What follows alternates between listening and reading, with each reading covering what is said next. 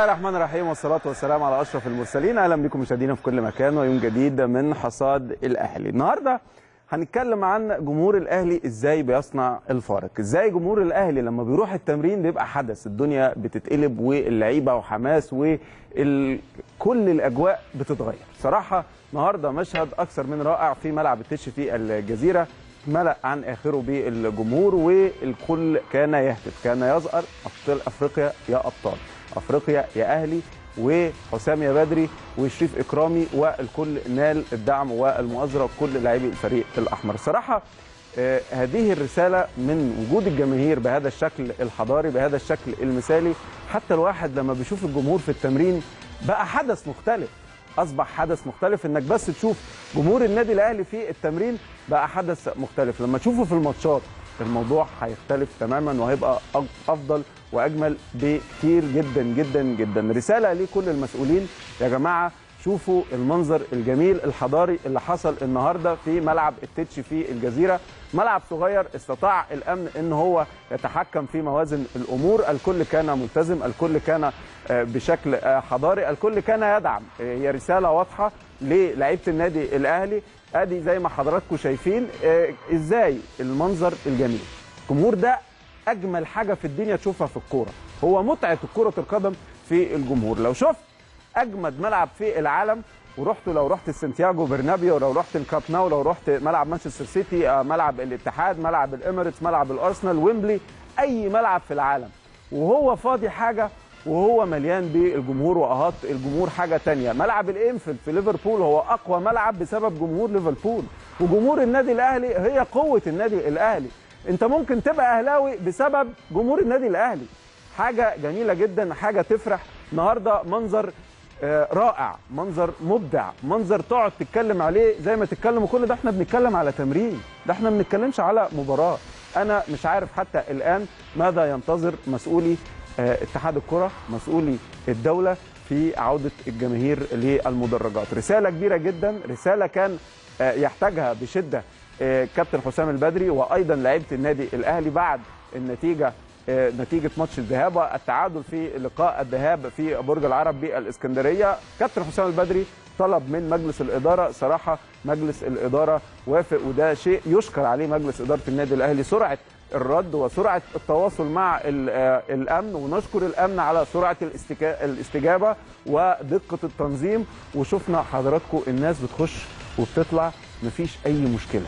الكل لما تحط نظام والنظام بيطبق مفيش أي مشكلة. مع النادي الأهلي أنت شايف حاجات كتير بتسبق اللي حواليك. عندك إدارة للمباريات عندك بطاقة أهلاوي افتخر عندك ان انت عشان تشتري تذكرة كل بياناتك بتبقى موجودة على الانترنت ال data entry موجودة عند الدولة خلاص بقى كل عارف مين داخل.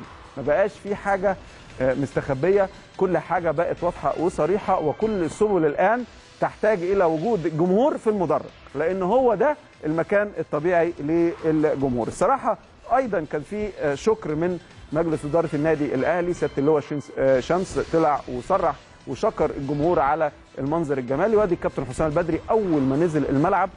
حسام يا بدري وأفريقيا يا أهلي. ده أول ما استقبل النادي الأهلي ولاعيبته ده مجرد مجرد إن هم دخلوا الملعب كان رد الفعل من الجمهور الواعي الجمهور العظيم الجمهور المدرك الجمهور اللي بيحرك الحجر الجمهور اللي هو اللاعب رقم واحد دائما في صفوف النادي الأهلي. أيضا كان في تفاعل سريع جدا من شريف إكرامي ووجه رسالة لجمهور النادي الأهلي اللي دعمه بشدة النهارده في التمرين وطلع على موقع التواصل الاجتماعي تويتر وقال شكرا جمهور الأهلي العظيم وأعتذر عن خطئي ولن أتهرب من المسؤولية والاختفاء ليس من طباعي أقدر حزن الجمهور ولكن الأمل موجود إن شاء الله. رسالة مهمة جدا جدا جدا من شريف إكرامي لجمهور النادي الأهلي اللي الصراحة قدم مثال للكل وحط المسؤولين في الدولة في موقف حرج. لأن بهذا المنظر بهذا الدعم بهذا الأداء في التشجيع بهذا السلوك الحضاري في الالتزام بكل قواعد التشجيع النهارده رسالة للكل رسالة للكل. هقول لحضراتكم مرة تانية أدي جمهور النادي الأهلي قد إيه كبير والكرة للجماهير هتافات كانت مالية الدنيا. شوفوا آه، شريف إكرامي وهو بيحيي الجمهور والآن مسؤولي الدولة أصبحوا في موقف حرج بعد رسائل جماهير النادي الأهلي. البداية كانت في آه، زناكو الزامبي في القاهرة ثم القطن الكاميروني ثم الوداد المغربي ثم آه، الترجي في دوري أبطال أفريقيا.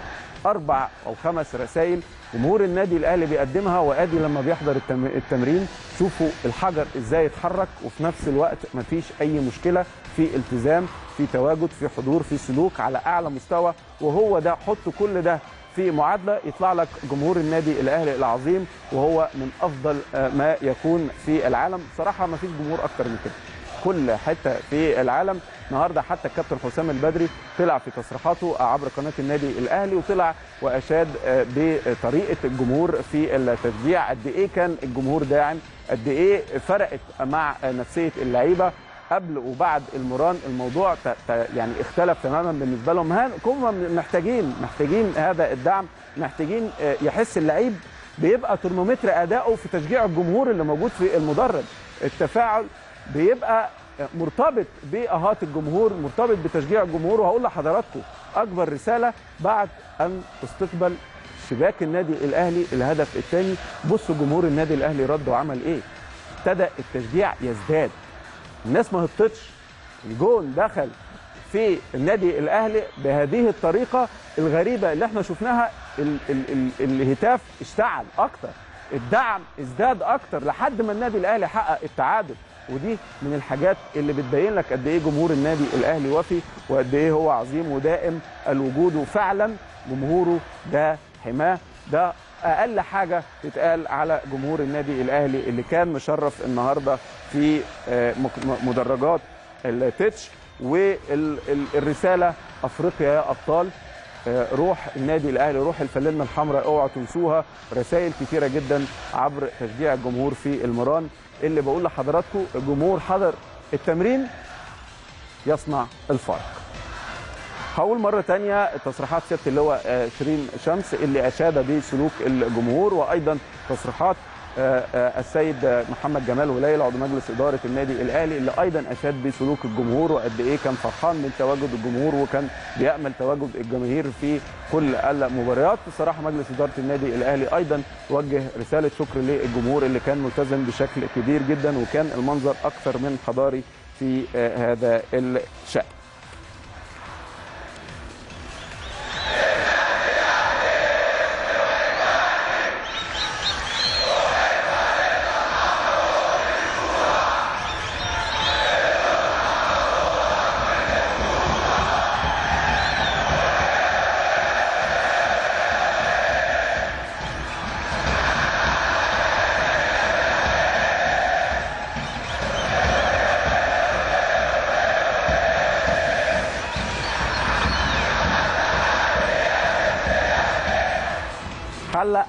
عالية نسر الأهلي وروح الفانيلا الحمراء. اوعوا تنسوها. رسالة مهمة جدا وكل لعيب في النادي الأهلي حضر هذا المران شاف قد إيه وحس بمعنى هذه الكلمات. خلينا أقول لحضراتكم إن في 25 لعيب آه، تم آه، إعلانهم في قائمة النادي الأهلي عبر الكابتن حسام البدري.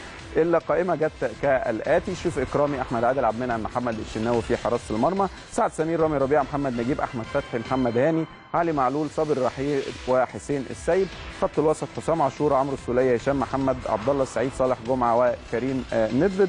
وفي الهجوم وليد سليمان مؤمن زكريا أحمد حمودي وأحمد الشيخ وليد أزار وعماد متعب جونيور أجاييه وميدو جابر. دي كانت القائمة اللي النادي الأهلي أو كابتن حسام البدري أعلنها اليوم. الصراحة كابتن حسام البدري آه، هنتكلم على سيناريوهات عديدة ولكن هقول لحضراتكم السيناريو الأبرز إن الكابتن حسام البدري هيقسم المباراة على ثلاث مراحل. المرحلة الأولى وهي دائما مرحلة البدايات وبيكون فيها حاجة من الاثنين يا إما تكون وسيلة ضغط يا إما تكون وسيلة رد فعل. رد فعل إنه هيشوف الترجي هيبتدي بأنهي شكل ويبتدي يباغت برد الفعل سواء من ضربة آه، آه، آه، أو هجمة مرتدة أو من طريقة الضغط العالي اللي من الوارد إن الكابتن حسام البدري يستغل الحالة البدنية العالية اللي موجودة في النادي الأهلي عكس أي فريق وممكن إنه يطبقها في أول خمس ل 10 دقائق الحاجة الثانية هل هيلعب بجونيور اجاييه وجنبه مؤمن ووليد ووراه عبد الله السعيد؟ كبداية رباعي هجومي هل هيكون وليد أزارو وجونيور ووليد سليمان أو مؤمن زكريا مكان جونيور أجاييه. كل دي من السيناريوهات المطروحة. الشوط الثاني ودي فترة بداية الشوط الثاني ده الجزء الثاني من سيناريو اللقاء اللي على حسب مجريات الأمور وعلى حسب النتيجة هيتم تعديل الكابتن حسام البدري. هل هيدفع بصالح جمعة؟ يكون محتاج استحواذ واختراقات أكتر وتحويل اللعب. هل من الممكن انه يبدا بهشام محمد بجانب عمرو السولية أو حسام عاشور؟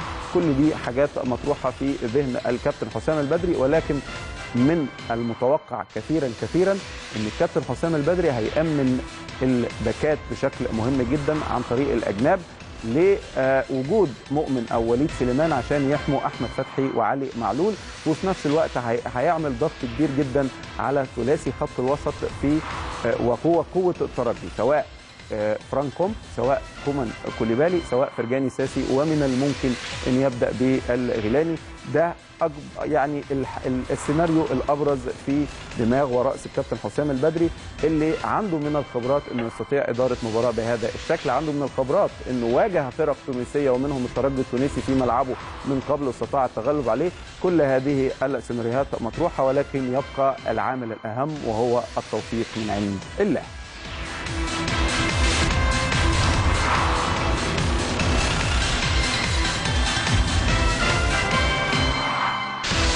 الخبر الآخر وهو استدعاء باكا مهلمبي النجم الجنوب أفريقي إلى منتخب جنوب أفريقيا. الصراحه باكا في تمرين اليوم كان مخضوض لأنه لأول مرة يرى جمهور النادي الأهلي بهذا الشكل لأول مرة يحس بهذا الدعم وإن الجمهور بيحرك الملعب و صوت بيهز الدنيا. وهو كان في بداية التمرين حتى في التسخين في الورمنج أب كان في صورة ليه وعلقنا عليها في استاد الأهلي اليوم وهو وجونيور اجاييه هو كان باصص مخضوض دايما حتى وهو بيجري باصص على المدرج مدرج جمهور النادي الأهلي. وكان في حوار ما بينه وما بين جونيور جونيور يقول له شايف هو ده الوضع هنا في النادي الأهلي. ولكن للأسف الجمهور ما بيحضرش مباريات الدوري. دي من الحاجات اللي كانت مهمة.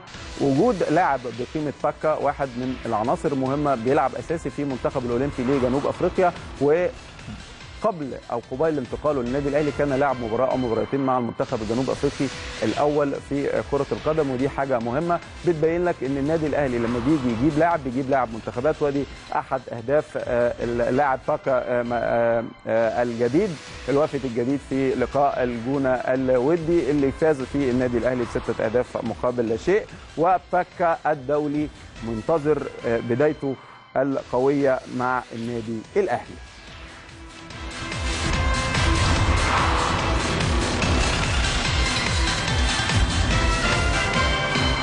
نكمل مع حضراتكم أجواء لقاء الترجي. وهذه المرة هنجيب لكم الأجواء من تونس والصحف التونسية بتنفي غياب طه الخنيسي المهاجم الفذ لفريق الترجي التونسي. ومن أحرز الهدف الأول لفريق الترجي التونسي في لقاء الذهاب هو من أحرز هدف منتخب تونس على منتخب مصر في لقاء منتخب مصر أمام تونس في تونس. هو forward على مستوى عالي وهو forward قناص طه الخنيسي. كان في شكوك حول مشاركته ولكن جريدة الشروق التونسية قالت إن الإصابة اللي لحقت باللاعب في مباراه الذهاب مش هتأثر على مشاركته أمام فريق النادي الأهلي في لقاء الإياب برادس. وده بعد إجراء الفحوصات الطبية. وأيضا حذرت صحيفه الشروق فوزي البنزرتي من اللعب على مصيدة التسلل وقالت إن هذه الطريقة ممكن تؤدي إلى النادي الأهلي استغلال ضرب مصيدة التسلل وإنه يقدر يحرز أهداف. وده من الحاجات الجوانب الفنية اللي بيعتمد عليها فوزي البنزرتي إنه بيلعب بضغط عالي وضغط عالي يعني لازم يكشف مصيدة التسلل. كل ده هنشوفه في لقاء الإياب.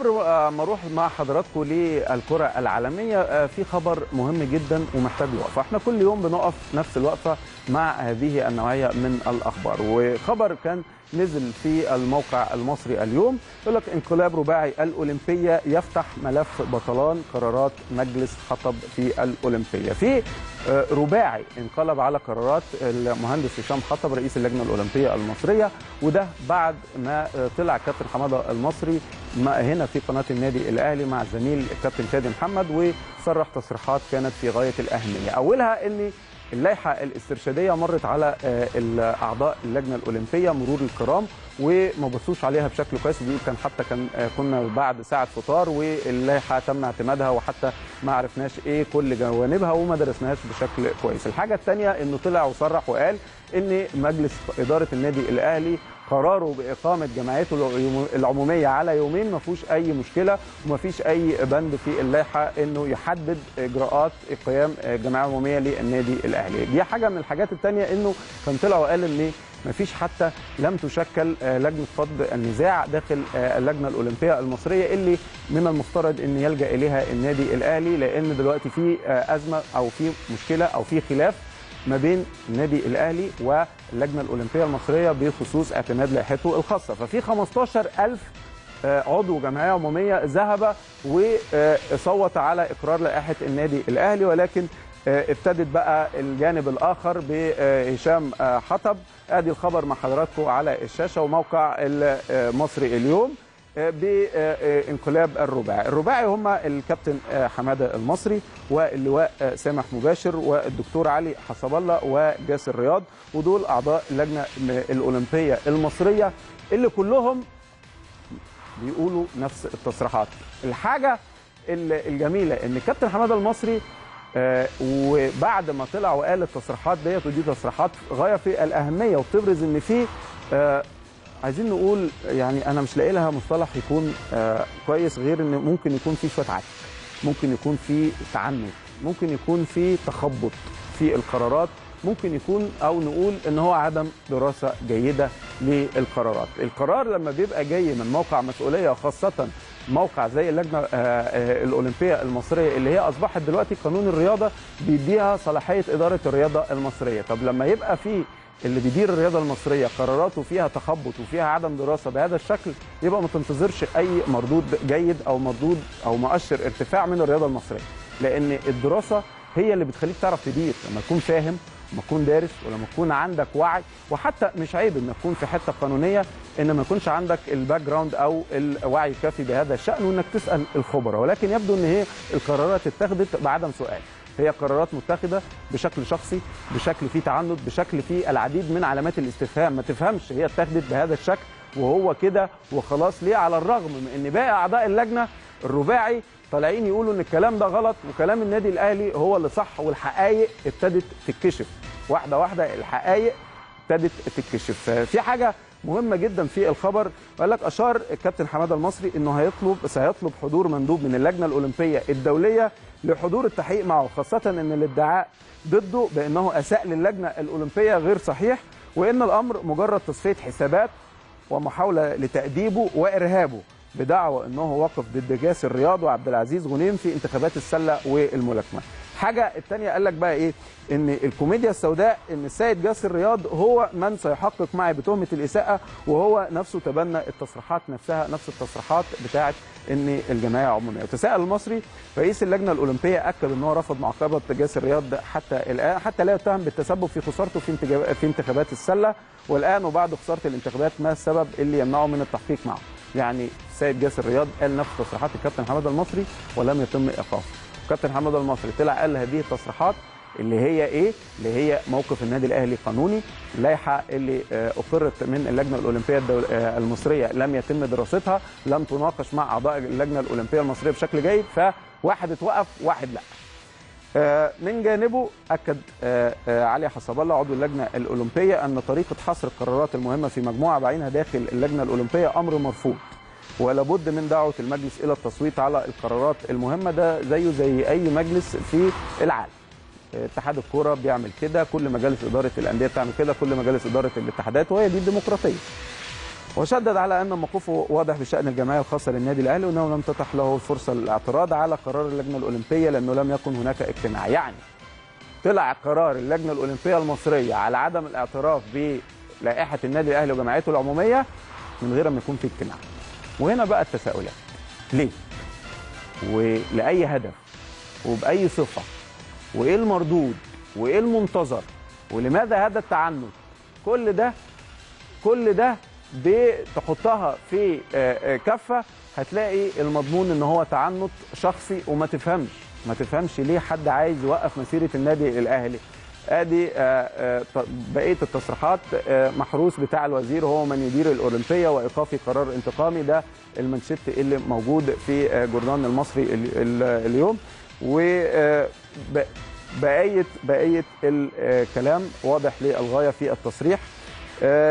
سيد سامح مباشر أعضاء اللجنة لم يتحدثوا عن عدم صيادة حمادة المصري العين والماء وصيانه بقى العيش والملح. والناحية الثانية قالوا إن كابتن حمادة المصري آه، ما العين- العيش والملح إنه طلع وصرح هذه التصريحات. آه، الحاجات كلها مثيرة للجدل حاجات كلها فيها علامات استفهام. والواحد الصراحة مش فاهم المردود إيه وإيه الفايدة؟ يعني الرياضة المصرية هتستفاد إيه من هذا الموقف؟ يعني المهندس هشام حطب يا ريت يطلع يقول لنا إيه اللي هتستفيده الرياضة المصرية من هذه القرارات التي لم تدرس لحد دلوقتي إحنا بنتكلم في اتجاهات والناس كلها إدت آه، قناة النادي الأهلي اتهامات معينة وللأسف الجانب صاحب الشأن لم يرد بأي شيء من بأي شكل من الأشكال. إحنا بنتكلم بإن في ناس قانونيين طلعوا أقروا إن لائحة النادي الأهلي ما فيهاش أي مشكلة وإن انعقاد الجمعية العموميه كان قانوني 100% ومين اللي قالوا الكلام ده؟ مين اللي قال الكلام ده مستشار رجاء عطية و سياده الأستاذ طبعا محمد فضل الله خبير اللوائح كل الناس القانونيين اللي لهم آه، وعي وفهم في اللوائح والقوانين طلعوا أقروا بهذا. الناحية الثانية أعضاء اللجنة الأولمبية نفسهم طلعوا قالوا إن موقف الأهلي سليم ولكن رئيس اللجنة الأولمبية لوحده هو اللي بيقول إن موقف الأهلي غير سليم علامة استفهام كبيرة وده آخر تعليق على الموضوع. نروح للكرة الجميلة ونروح للدوري الجميل ونروح للجماهير وتروح للأجواء. صراحة الدوري الإسباني آه، هذا الموسم آه، بيقول للناس مش بس الدوري الإنجليزي اللي عنده ملاعب كويسة مش بس الدوري الإنجليزي اللي عنده تغطية جميلة في البث وجرافيكس وشكل وأجواء وتنافس لا الدوري الإسباني هذا الموسم آه، غير غير. أتلتيكو مدريد بيتخطى أتلتيك بلباو بثنائية في الدوري الإسباني هدفين مقابل هدف على ملعب سان ماميس ضمن فعاليات الجولة الخامسة من عمر الدوري الإسباني. انخل كوريا من جريزمان وهذا لاعب جريزمان أنطوان جريزمان اللي بيظهر في الشاشة افتتح التسجيل في الدقيقة 55 وثم أحرز بعدها أيضا يانيك فيريرا كاراسكو الهدف الثاني أيضا من تمريرة جميلة من جريزمان عشان الروخو بلانكوس اللي هم أتلتيكو مدريد يتفوقوا في الدقيقة 73 فريق اتلتيك بلباو اضاع ضربة جزاء للاعب أدوريز. وفي الدقيقة 41 ثم راؤول جارسيا لاعب فريق أتلتيكو مدريد السابق واتلتيك بلباو الحالي. أحرز هدف بلباو في الدقيقة 92 وده كان أهم مجريات الأمور. على فكرة كان لقاء ممتع للغاية. وفي نفس الجولة تعادل لجانس مع خيرونا بدون أهداف في هذا اللقاء.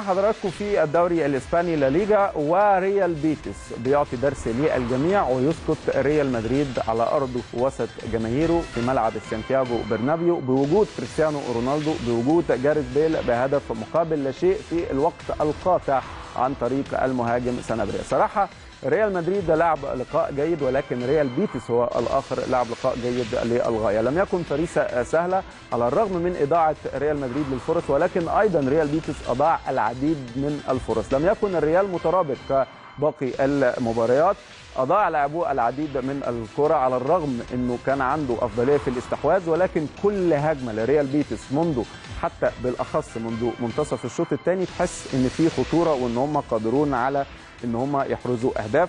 صراحة آه، مباراة آه، آه، للنسيان بالنسبة لريال مدريد. ثلاث تعادلات في اللقاء في اللقاءات الأخيرة. جاريث بيل كان له كورة بالكعب. بصراحه كان هيبقى هدف ولا أجمل من كده ولكن فشل في الريال في اقتناص أي فرصة من الفرص. خلينا نقول إن بهذا الفوز برشلونة أصبح على رأس الترتيب برصيد 15 نقطة.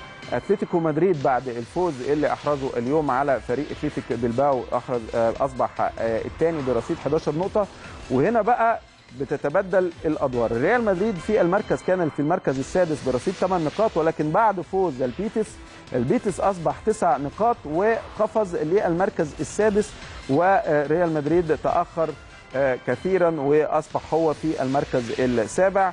والكراسي أصبحت لعبة الكراسي المتحركة لم يكن أشد المتفائلين في ريال بيتس يتفائل إلا بتعادل ما بين ريال بيتس وما بين آه، ريال مدريد ولكن بيتس يسقط ريال مدريد في أرض وسط جماهيره. ودي رسالة آه، لمتابعي ومحبي الدوري الإسباني. آه، اللي دايما بيقولوا الدوري الأسباني مش سهل وهو ده رد الفعل وهو ده المستند الصحيح إن آدي فرقة ما حدش متوقع إنها تكسب ريال مدريد بتكسبه على أرض وسط جماهيره وهو ده آه، نموذج لقوة الدوري الإسباني إنه بس مش تفوق لريال مدريد وبرشلونة والباقي بيتفرج لا هتلاقي فيه مفاجآت داخل الدوري.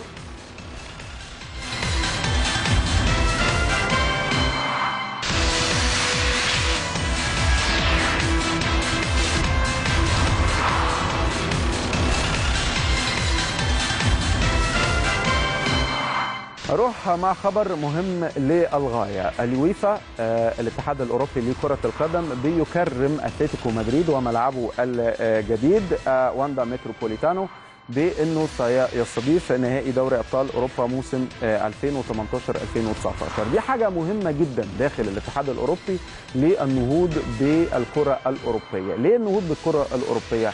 في دول آه، أوروبا الغربية اللي هم ألمانيا فرنسا إنجلترا آه، والسويد والنرويج ما عندهمش مشكلة في الملعب حتى هولندا آه، ما عندهاش مشكلة في الملعب. ولكن دول شرق أوروبا اللي هم صربيا وكرواتيا وتشيكيا وبلغاريا والعديد من الدول حتى سلوفاكيا سلوفينيا دول كتير جدا محتاجة الدعم. فلما بيجي الاتحاد الأوروبي كل سنة بيقام نهائي بطولات الاتحاد الأوروبي في ملعب مختار راندم أو بشكل عشوائي من قبل الاتحاد الأوروبي. لما بيجوا ينقوا هذا الملعب لو الدولة مش قادرة تصرف على الملعب وتخليه بالشكل اللائق لأن الاتحاد الأوروبي له آه، معايير معينة بيتم دعم هذا الملعب من قبل الاتحاد الأوروبي يخلوه آه، يجددوا فيه مثلا الأرضية يجددوا فيه آه، بعض من المدرجات الصحفيين وغرف خلع الملابس كل ما يحيط بالملعب عشان يقدر إنه يستضيف نهائي دوري أبطال أوروبا البطولة الأقوى في الكرة الأرضية آه، حتى الآن. آه، أيضا استقر الويفا على ملعب باكو الأولمبي فين بقى؟ بأذربيجان. لاستضافة بطولة الدوري الأوروبي اليورو ليج ده اللي أنا بقوله لحضراتكم أذربيجان. الملاعب بتاعتها بيتم انتقائها ويتم تدعيمها من قبل الاتحاد الأوروبي. ويا ريت الاتحاد الأفريقي يعمل لنا حاجة من الحاجات ديت لأنها هتفرق كتير جدا. النادي الأهلي لما بيلعب بره آه، شمال أفريقيا أو بيلعب في دولة زي جنوب أفريقيا عندها ملاعب بسبب كأس العالم. أنتوا حضراتكم بتشوفوا الصورة عاملة إزاي والكره حتى ما تبقاش ماشية وبيبقى الملعب كله فخر ونقر.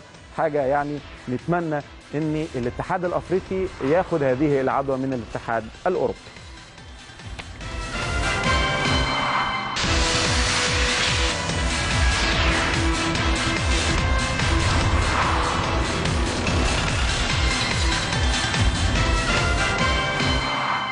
أكمل كلامي مع حضراتكم ولكن هذه المرة مع محمد النني وكأس الرابطة الإنجليزية والنني والأرسنال يكتسح فريق دونكاستر ويتأهل للدور الآخر. هو المصري الوحيد بعد ما فشل المحمدي وفشل محمد صلاح وفشل رمضان صبحي مع فريقهم على الرغم إن آه، أحمد المحمدي ومحمد صلاح لم يشاركا في اللقاء. فريق الأرسنال اللي بيلعب فيه محمد النني نجح العبور لدور ال 16 آه، بعد الفوز على دونكاستر روفرز بهدف مقابل لا شيء أحرز الهدف اللاعب في والكوت واللقاء اقيم على ملعب الإمارات. نفس الجولة تشيلسي اجتاح فريق اسمه نوتنغهام فورست 5 1 وسبحان الله نوتنغهام فورست ده في 78 79 خد الدوري الإنجليزي وخد ال Champions League دوري اللي هي كان ساعتها كأس أبطال أوروبا 78 79 و79 80 يعني فرقة عندها تاريخ وفي هذا التوقيت كان تشيلسي ده فريق هاوي. سبحان الله ارحموا عزيز قوما ذل فريق تشيلسي مع دعم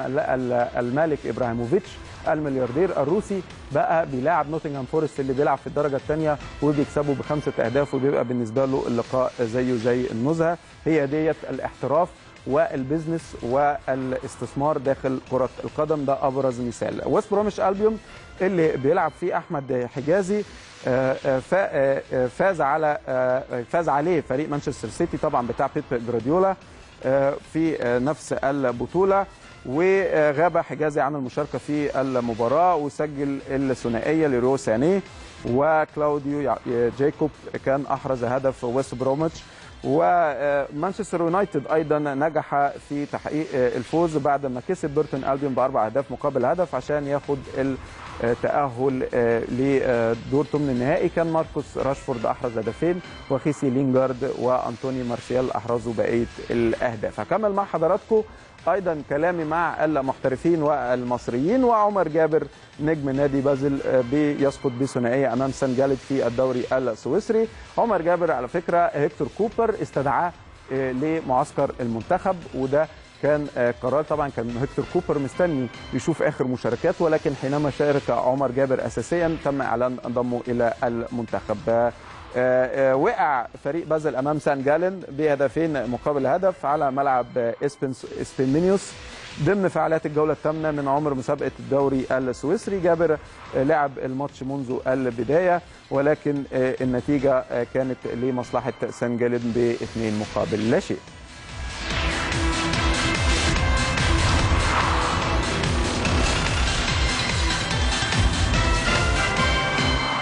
ده كان آخر خبر معايا النهارده حتى ألقاكم تحياتي وقبل السلام الختام هو أفريقيا يا أبطال وروح الفانيلا الأحمر اوعوا تنسوها. ده شعار وأبرز ما جاء اليوم من جمهور النادي الأهلي. إن شاء الله الفوز يكون للنادي الأهلي في يوم السبت المقبل. تحياتي والسلام عليكم ورحمة الله وبركاته.